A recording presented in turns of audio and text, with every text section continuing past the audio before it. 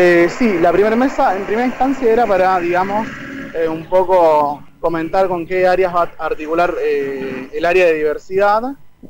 y bueno, más que nada era, digamos, empezar a articular y ver cómo arrancamos a trabajar, cómo empezamos a hacer visible nuestro colectivo en la ciudad, de, digamos, de plantar bandera y de que se entiende, digamos, de que siempre estuvo la diversidad en Galvez, solamente que no hubo una decisión política que así lo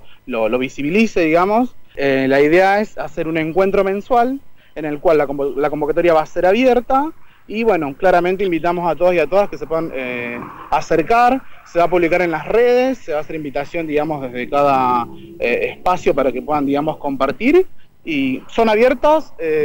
vienen, traen propuestas, charlamos, está abierta al diálogo, tenemos un montón de, ganas, digamos,